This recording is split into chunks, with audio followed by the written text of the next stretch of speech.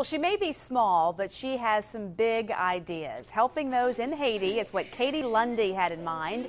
So the fifth grader, Derry Area School District student, took action and got her classmates to wear hats for the day. She started by writing a letter to her principal, and soon every school in the district joined the Hat Day for Haiti project.